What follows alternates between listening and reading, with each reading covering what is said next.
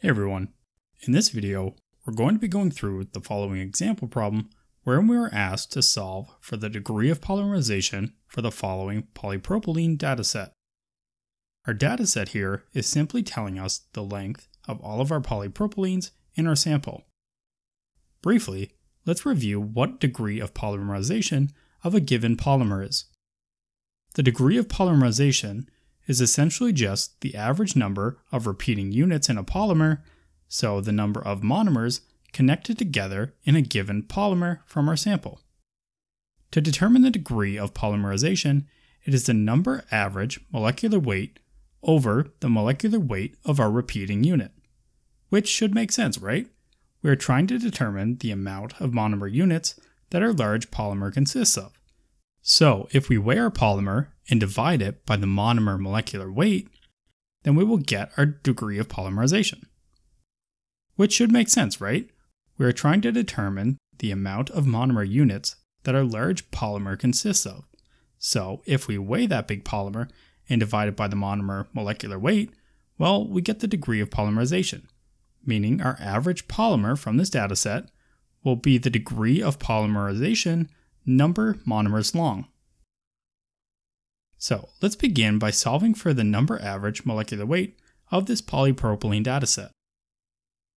The number average molecular weight formula is presented here.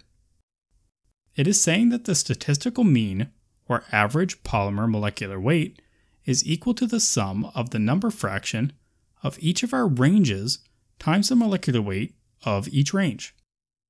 So, this will tell us where the majority of our polymer sizes are.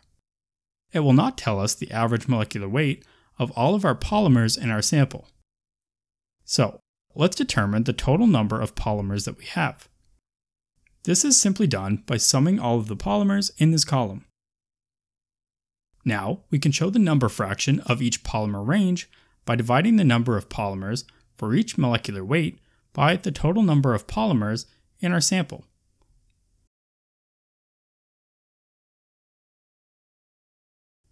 And that is all we need to do to find the number average molecular weight. We now just apply the formula we discussed previously and multiply the number fraction for each molecular weight by the molecular weight of that given range.